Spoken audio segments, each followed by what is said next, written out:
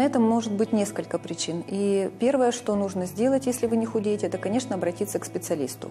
Для того, чтобы исключить какие-то заболевания, которые могут быть в вашем организме, и начать правильно худеть.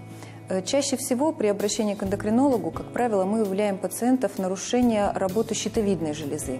То есть, когда щитовидная железа снижает свою функцию, при этом замедляются все процессы в организме, в том числе и замедляется распад жиров. В таком случае человек может, э, как называется, сидеть на диете, ничего не кушать, но худеть он при этом не будет. И уровень гормонов щитовидной железы, который определит вам врач по лаборатории, покажет, насколько серьезное отклонение в работе щитовидной железы. Значит, если же в работе щитовидной железы мы не выявили никаких нарушений, то здесь еще нужно посмотреть уровень сахара в крови, потому что может быть начинающийся сахарный диабет, особенно если у кого-то из родственников был, и вы можете совершенно не чувствовать никакие симптомы, но при этом с весом тоже могут быть проблемы. Значит, если же врач-эндокринолог исключил все заболевания, и у терапевта вы элементарное обследование общеклиническое прошли, никаких заболеваний не выявлено, то тогда уже можно начинать худеть, как мы говорим, по-настоящему. Значит, для этого необходимо, конечно, в первую очередь завести пищевой дневничок, э, которым вы будете фиксировать э, все продукты, какие вы съели за день. Многие, переходя на диету, начинают употреблять очень много мюсли в разных видах. Но мюсли – это очень опасный продукт на самом деле. Он содержит в себе часто орехи, какие-то фрукты, которые по калорийности обладают очень высокими свойствами, очень высоким колоражем. Поэтому обязательно, если мы переходим на мюсли, нужно смотреть, что в составе. Орехи – это скрытый колораж. Фрукты – это скрытый колораж. И если еще фрукты в мюсли будут кисловатые, они будут стимулировать выработку желудочного сока, и снова будет э, повышаться аппетит. То есть мы попадаем в заколдованный круг. Об этом, конечно же, надо помнить.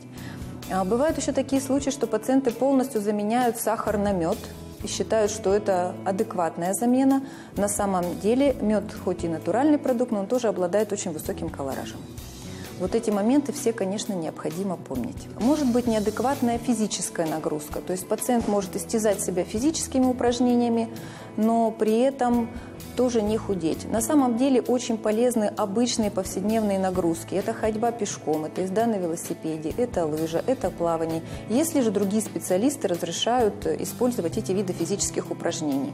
То есть физическую нагрузку у нас это один из основных методов, который мы добавляем к нашей диете.